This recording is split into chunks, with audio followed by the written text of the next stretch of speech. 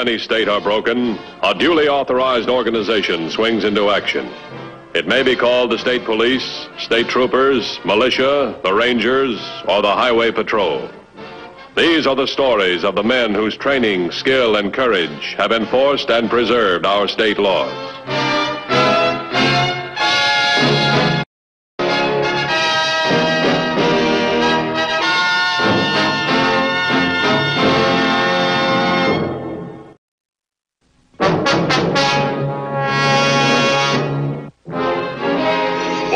Functions of the Highway Patrol is the safeguarding of the public highways for all kinds of carriers, all types of people. On March 23rd, a bus was carrying Ray Summers home from state prison where he had served a sentence for armed robbery, first offense. Unknown to Summers, the bus was being trailed by Frank Brimmer, his ex-partner, who had not been caught in the robbery, and Brimmer's new partner, Sandy Hopak. An anxious wife in the town of Fairlane waited impatiently for a bus bringing her husband home from prison.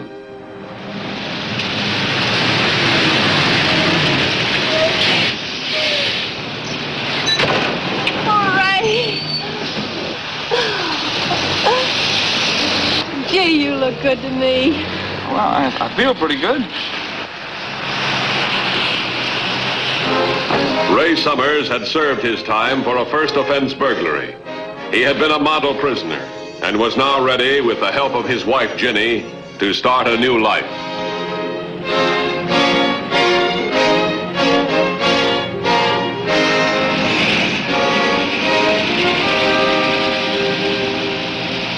Going home, all right. Any way of getting there ahead of them? I can cut around Lexington Boulevard, but we'll have to step on it. Okay, go ahead and try it. Brimmer's anonymous tip to the patrol had been responsible for Summers' imprisonment. Knowing that Summers had hidden the money before being captured, Brimmer intended to follow him until the hiding place was disclosed.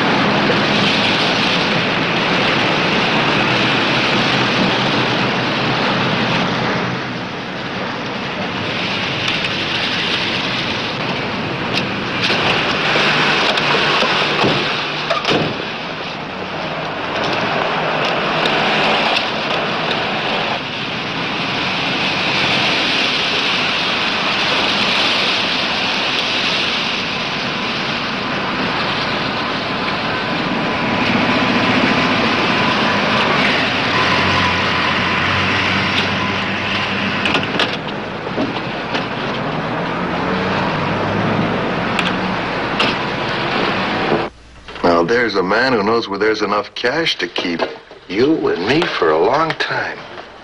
Brimmer, Yeah. you double-crossed Summers once, and you're about to do it again. Don't try that on me. Why, I, I don't understand what you're talking about. Don't interrupt.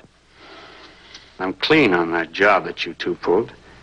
And if you try to gyp me out of one dollar of that money, the cops are going to get the same anonymous phone call that you gave them on Summers.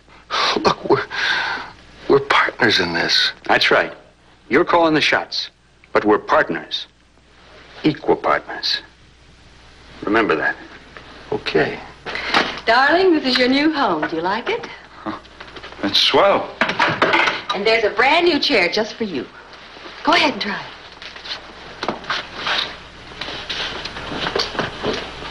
Well, how is it? Oh, great.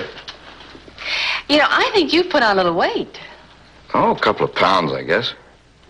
I took a few days off from work. Good for you. I thought maybe we could go somewhere. Ray, is something wrong? No. Why?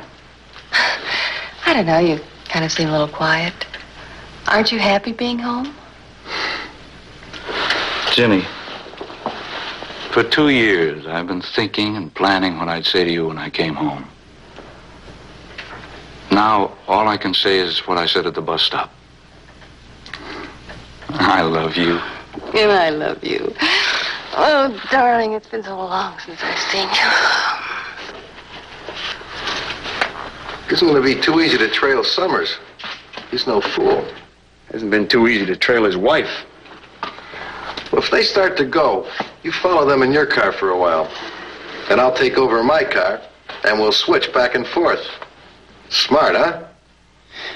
Smart. Yeah. Have you been up to the cabin lately? Oh, nearly every weekend. Have we had any more visitors up there? No, not since the first time. Oh, that cabin was such a wreck. But I've got it all fixed up now. It was probably Brimmer. Say, has he ever bothered you? No, I've never seen him. Our old apartment was searched several times, and I suspected it was you, Mr. Brimmer. But since I moved here, he doesn't know where I am. Uh, he probably figures he's entitled to half the money. Ray. We're going to have to have a talk about that money. What about it? Honey, you've got to give it back. Give it back. Yes, to the people it belongs to. But I've put in almost five years of hard work and being locked up in a cage like an animal. And the loneliness. Oh, but honey, you've got to give it back.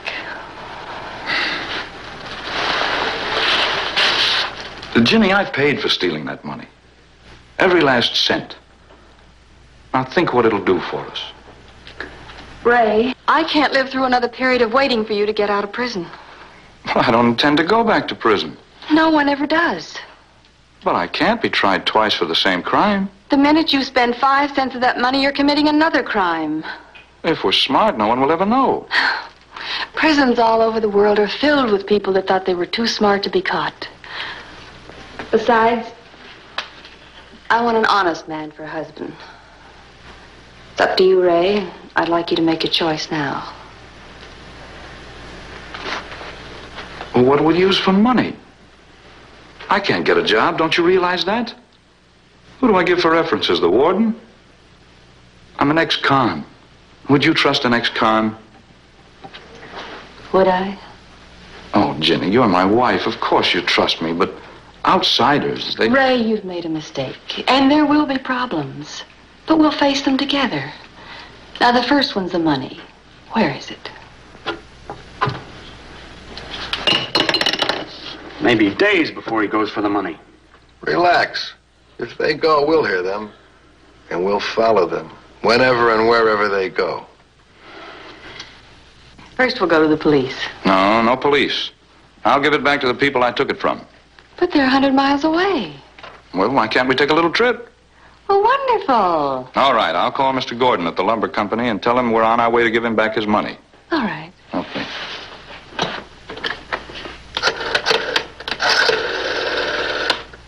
Hello, long distance?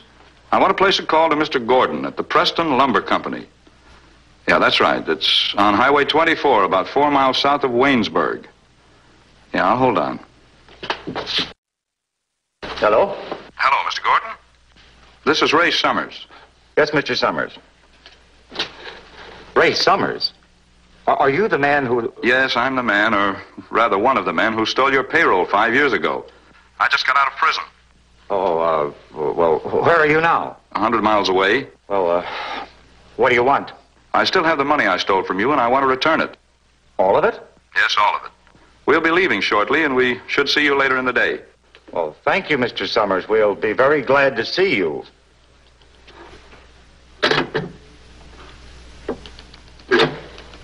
Uh, put in a long-distance call for Mr. Matthews at Highway Patrol Headquarters. Hurry. Let's pack a few things and make an occasion of it. I bet it's an occasion for Gordon, too. Maybe he'll give you work. Oh, fat chance of that. Well, that's about all there is to it. Uh, he's on his way. That's all he said. Uh, I, I testified against him, Mr. Matthews. I'd, I'd be afraid to meet him. And don't worry, Mr. Gordon. I promise nothing will happen to you. Well, if there's anything else I can do, At the moment, no. If there is, we'll call you. Thanks very much.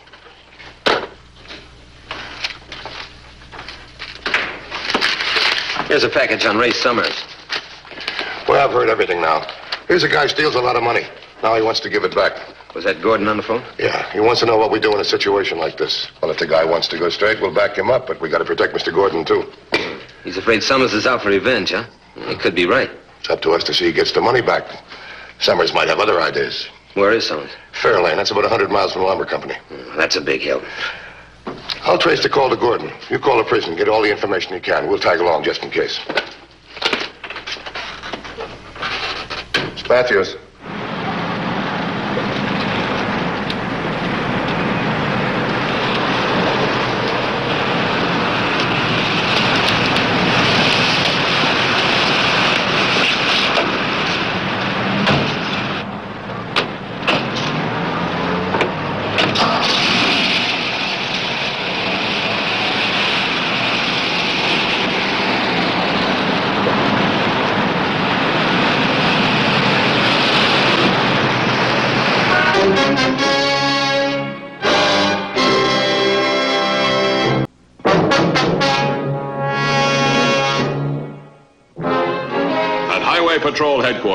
Every effort was being made to get information about Ray Summers and to locate him.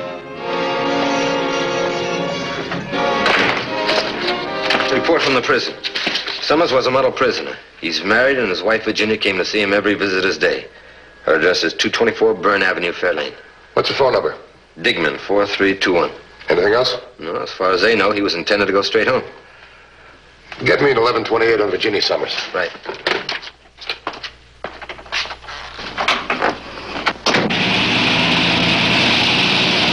One? Oh, five. No, that's all right. Thanks very much.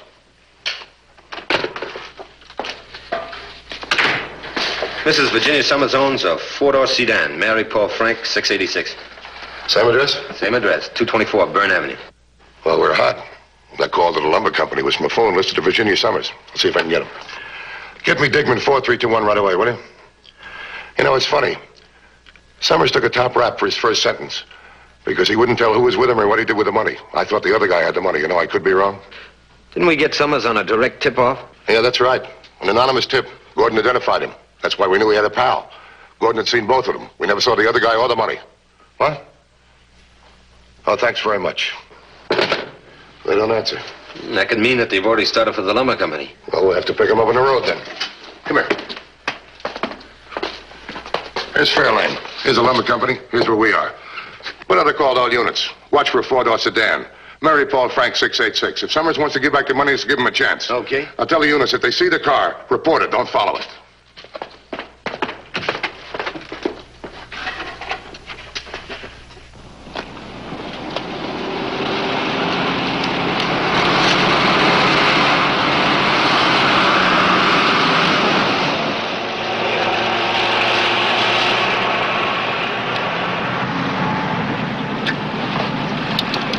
Thirty to headquarters. Headquarters by. Hardtop coupe, license number Mary Paul Franks, 686, just passed me traveling north. Approximate speed, 40 miles an hour. What's your 1020? Culvert 1791, 10 miles south of Lane Junction. Stand by. 10-4.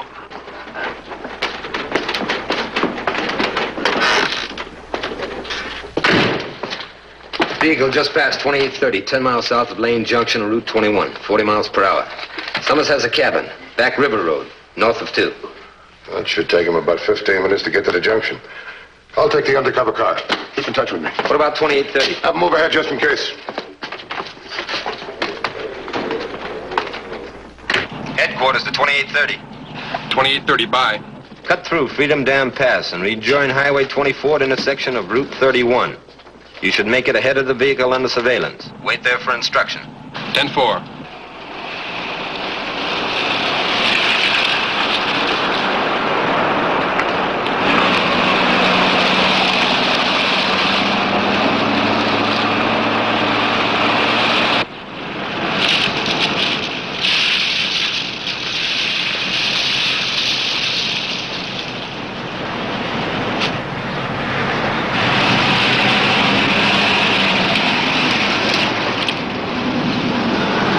Twenty-one fifty to headquarters. Headquarters by. Summers car just passed. I'll tail him. 10-4.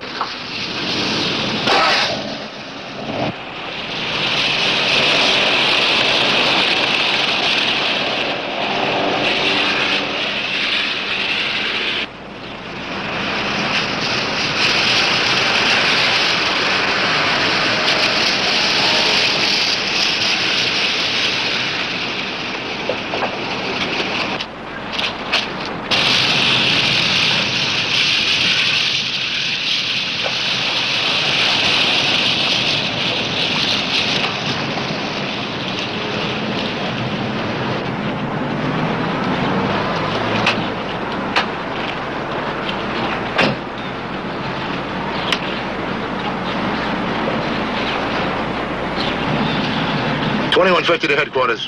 Headquarters, bye. There's another car following Summers. Get me an 1128 on license John Robert Frank 654. 10-4. Ray, Yes? something's bothering me. What is it? Well, honey, why did you keep all the money? Back at the house, you said Brimmer expected to have half. Just one of those things. You see, Brimmer and I had agreed on a hiding place for the money, but when I got there, the place was covered, and I had to take it up to the cabin.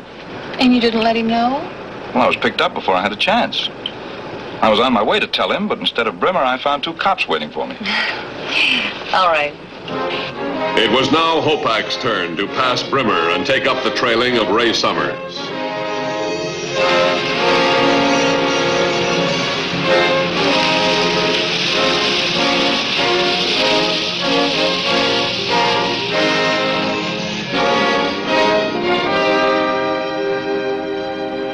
Stuff ready?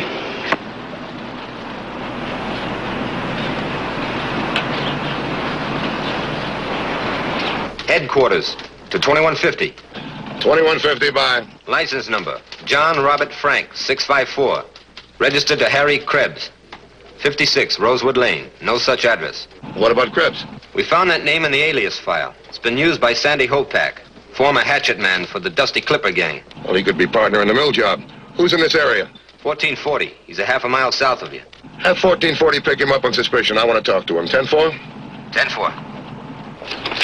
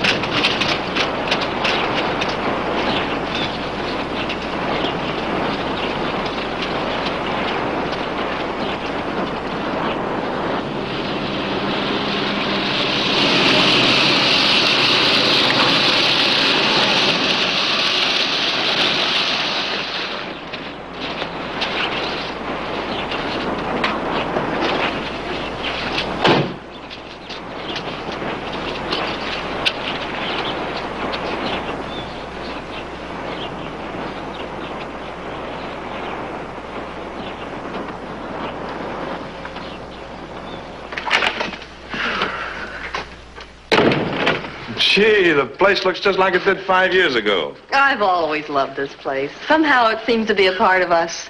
I was broken-hearted when I came up here and saw it all torn apart.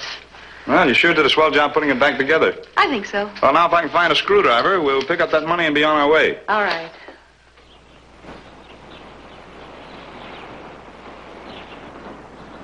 Twenty-one fifty to twenty-eight thirty. 2830 by. Summers past you yet? Negative. I'm going up and check the cabin. If you don't see him, come on up and look for my car. 10-4.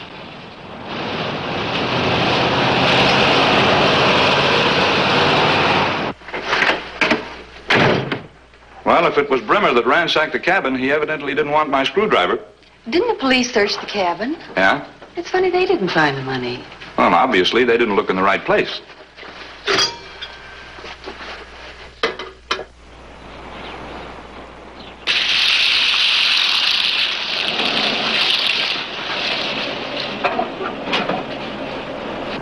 Twenty-one fifty to twenty-eight thirty. Go ahead, 2150.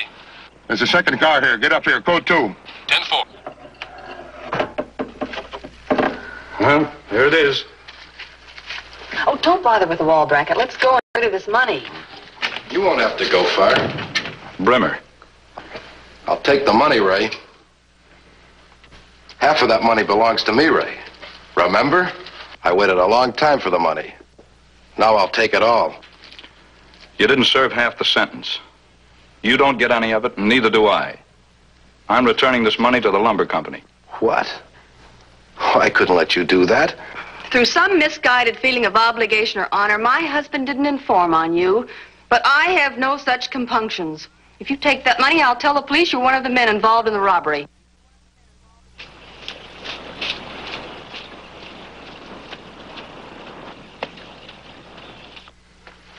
Over there. Move.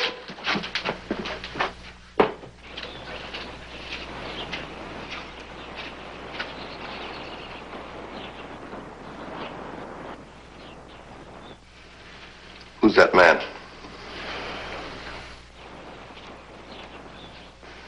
I don't know. I never saw him before. You, Mrs. Summers? I've never seen him either.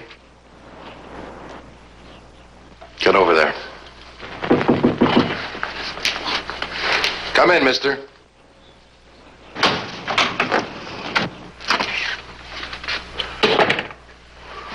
What's this, a holdup? Yes, this man was trying to take. Keep quiet, Mrs. Summers. What are you doing here, mister? I'm interested in this cabin. Are the owners here? You, Mr. Summers? How'd you know he was Summers? I heard you call the lady Mrs. Summers. All right, Ray. This place is getting crowded. Let me have the money. I told you, this money's going back to the lumber company. Now, look, you're not in any trouble yet. Why don't you clear out of here? Are you going to give me the money, or am I going to fire this three times? Starting with the lady. Give them the money.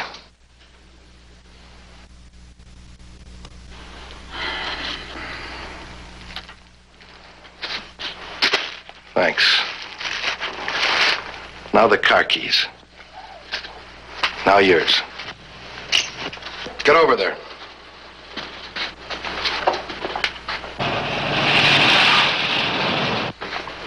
Now, don't any of you stick your nose outside that door until you hear my car start.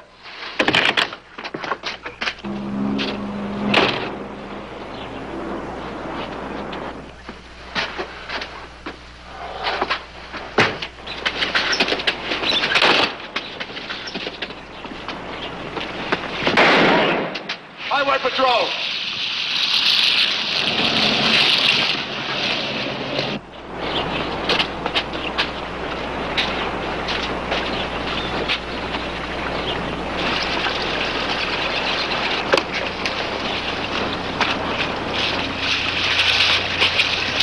I'll take this. And the keys. Now you know what I'm doing around here. Yeah, you're not so smart. A few more seconds and I'd have been away. A couple of more seconds, you'd have been shot, too. Take him in.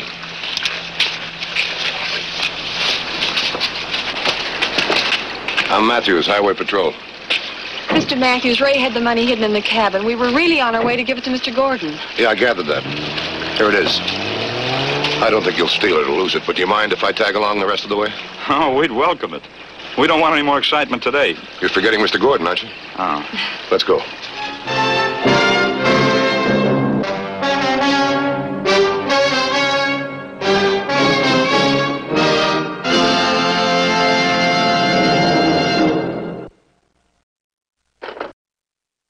See the Highway Patrol in action again next week. Until then, remember, leave your blood at the Red Cross, not on the highway. This is Broderick Crawford saying, see you next week.